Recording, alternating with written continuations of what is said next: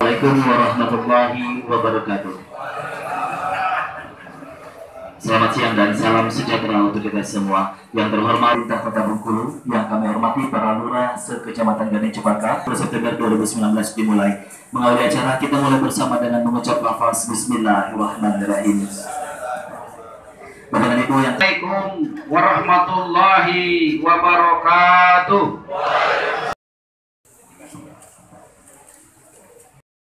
Ketua Ketua RW, Adat, Limas, Imam, Khatib, Bilal Karim, Rubiah semuanya. Ya, semuanya terima kasih. Dan tentu pemerintah ingin ya memberikan BOP yang besar tapi kemampuan pemerintah terbatas. Karena kita masih banyak hal-hal yang diperlukan masyarakat. Masyarakat masih memerlukan lampu jalan sampai ke RT masyarakat masih memerlukan jalan-jalan mulus. Masyarakat masih memerlukan bantuan bantuan dan sebagainya maka oleh karena itu uh, BOP-nya uh, belum maksimal kita berikan tetapi insya Allah kalau kita bersyukur itu jadi berkah.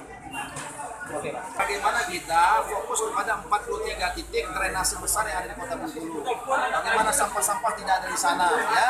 Dengan itu mudah-mudahan ya sirkulasi airnya jadi lancar, banjir kemudian akan terhalang. Tapi tidak cukup itu. Makmurkan masjid.